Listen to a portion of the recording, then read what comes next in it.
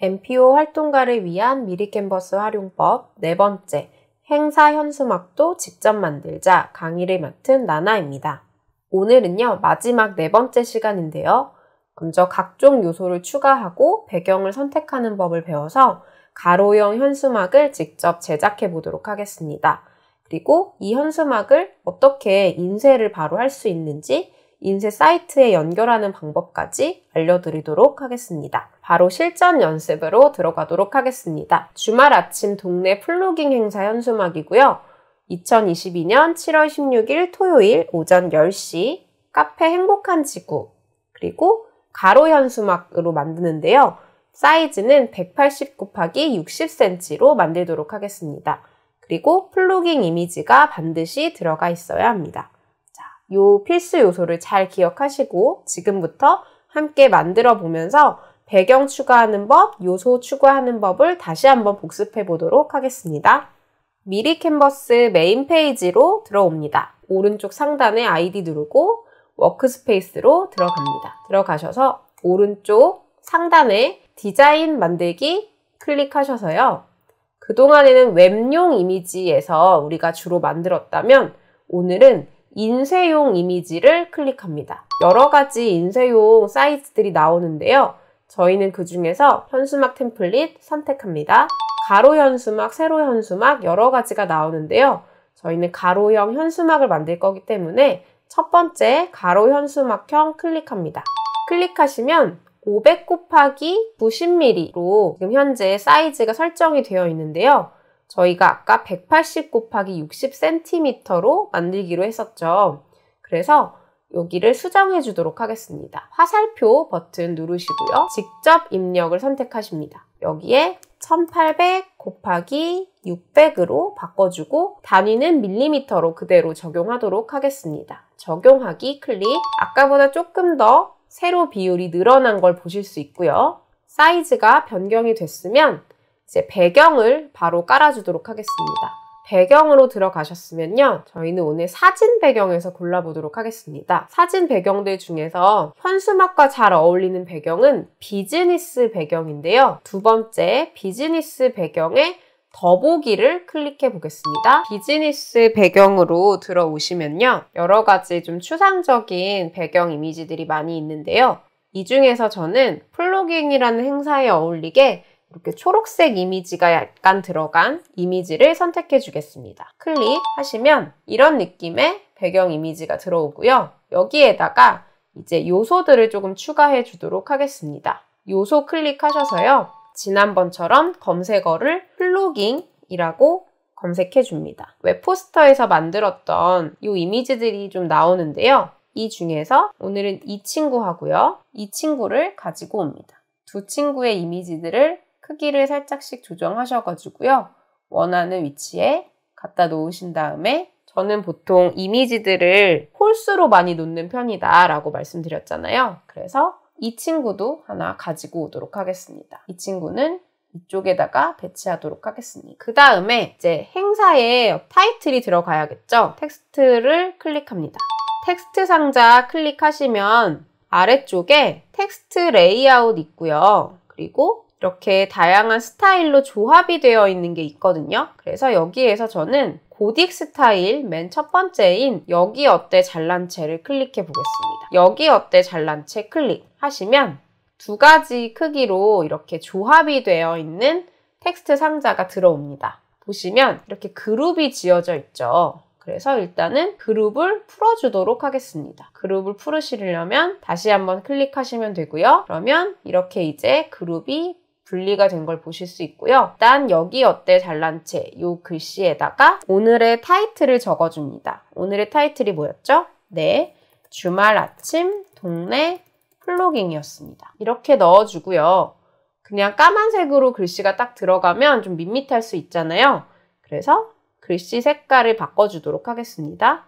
글자 색을 클릭하셔서 이 색상으로 클릭을 하시고요. 외곽선도 넣어주도록 하겠습니다. 체크박스에 선택하시고 색상을 변경해 줄게요. 색상은 멀티컬러 선택하셔서 약간 은은한 버터색이라고 하나요? 요 색깔로 변경해 주겠습니다. 이 색상을 정확히 모르실 때는 샵 FF22BF라는 색상 번호를 기억하셔도 됩니다. 그 다음에 그림자도 한번 깔아주도록 하겠습니다. 그림자 체크 하시면 이런 식으로 그림자가 뜨고요. 이렇게 해서 들어가게 되었죠. 그 다음에 여기 아래쪽에 이제 일시 해서 토요일 오전 10시 장소는 카페 행복한 지구였습니다. 이런 식으로 텍스트가 들어가면 되고 텍스트 사이즈를 늘려줄 때는 네 귀퉁이에 있는 네, 손잡이 클릭해서 쭉 늘려주면 됩니다. 이렇게 들어가면 되고요. 제가 맨 첫 시간에 센터로 이런 걸 갖다 놓으면 이렇게 분홍색으로 기준점이 생긴다고, 기준선이 생긴다고 말씀드렸죠? 그렇게 해서 센터를 잡으시면 되겠습니다. 배경 요 화면이 조금 이미지가 위치가 변경되면 좋을 것 같은데 이 상태에서 어떻게 변경을 하냐면요. 배경을 선택하신 다음에 배경 편집이라고 이렇게 뜨거든요. 배경 편집을 클릭해 줍니다. 그 다음에 배경을 더블 클릭하시면 약간 이동을 하실 수가 있어요. 이런 식으로 이동을 하실 수 있고 늘리실 수도 있고요. 그래서 조금 늘려서 아래쪽으로 저는 조금 빼주겠습니다. 그런 다음에 완성이 되었으면 체크박스를 선택해서 이렇게 완성을 해줍니다. 배경을 약간 조정한 다음에요. 글씨 색도 마저 바꿔주도록 하겠습니다. 이 배경색에 들어있는 약간 파란색 이 색깔로 한번 바꿔주고 싶은데요. 어떻게 바꾸냐면 글자가 선택이 되어 있는 상태에서 글자 색을 클릭하신 다음에 여기에 있는 스포이드, 스포이드로 이 색상이 뭔가 가지고 옵니다. 여기 보이시죠? 확대가 되면서 요거를 클릭하시면 네, 이렇게 가져와 줍니다. 이 뒤에 있는 배경 색깔 조금 어울리게 비슷한 색상으로 선택이 됐습니다. 그런 다음에 여기도 외곽선을 좀 넣어줘 볼게요. 밝은 색으로 넣겠습니다. 약간 이런 색깔, 민트 색깔로 넣고요. 그 다음에 여기도 그림자 깔아주는데 그림자 방향을 이번에는 아래쪽으로 이렇게 깔아주도록 하겠습니다. 어, 여기에서 한 가지 주의할 점이 보통 현수막을 만들면 양 옆에 여백을 어느 정도 살려줘야 해요. 왜냐하면 현수막은 보통 이렇게 막대기나 이런 곳에 고정이 되잖아요. 그래서 이게 말려 들어갈 수 있거든요.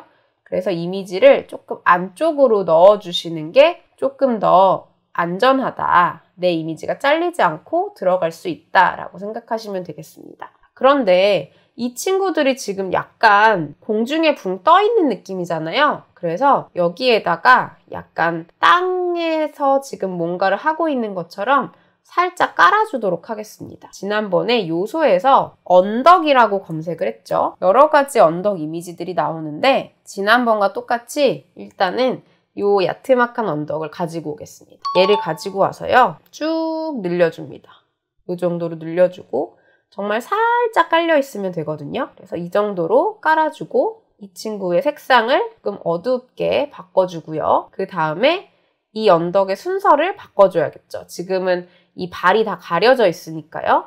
그래서 여기에서 순서 뒤로 이 친구들의 발이 보일 때까지 눌러주시면 됩니다. 약간 여기에 붕 떠있던 친구들이 땅에 딱 앉아있는 느낌이 들죠. 그래서 이런 식으로 약간 현수막의 아래쪽 부분을 조금 어두운 색, 짙은 색으로 살짝 눌러주시는 게 좋습니다. 이렇게 해서 현수막을 일단 완성해 보도록 하겠습니다. 이제 이 현수막을 완성하셨으면 인쇄물 제작에 들어가야겠죠.